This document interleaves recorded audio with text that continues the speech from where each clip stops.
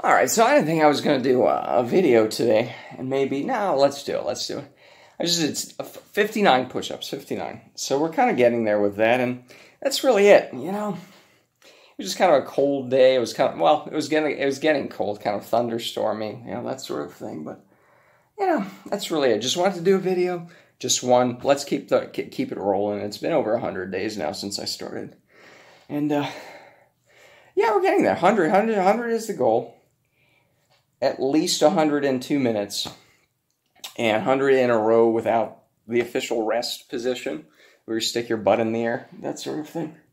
Let's do that. Let's do that. Let's try. You know. So, yeah, that's it.